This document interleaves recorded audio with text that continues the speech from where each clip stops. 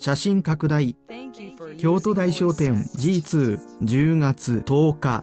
阪神芝2400メートル。関西の競馬の舞台は阪神へ。開幕週の重賞は第56回京都大商店 G2 10日。1着馬に天皇賞秋優先出走権2連勝中のアイアンバローズで臨む上村博之調教師47は開業3年目を迎えた今年すでにキャリアハイの20勝をマーク。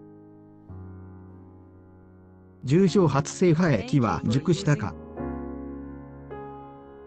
上村調教師が G2 へ送り込むアイアンバローズは角井厩舎の解散に伴い今春歌手馬屋後連勝中だ。ポテンシャルは高いんですが気性が幼かった。うちに来てからは我慢させることを教えて結果につながりました。2勝クラスを5馬審査で圧勝後前走の緑風 S 東京3勝クラスはスローの瞬発力勝負での接戦を鼻差で制した。ここぐらいは通過してと思っていました。馬も分かっていて鼻差だけ前に出たという感じ。相手が強くなった方が本気で走りそう。